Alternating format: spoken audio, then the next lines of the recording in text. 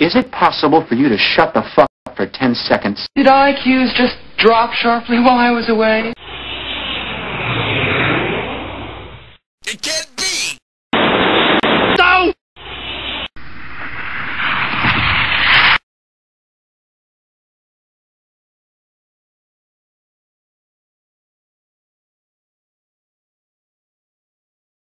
You tried your best, and you failed miserably.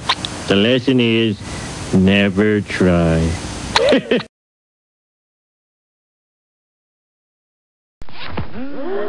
hey, Mr. Burns, blah, blah, blah. Do this, do that, blah, blah, blah. I think I'm so big, blah, blah, blah. Destroy him.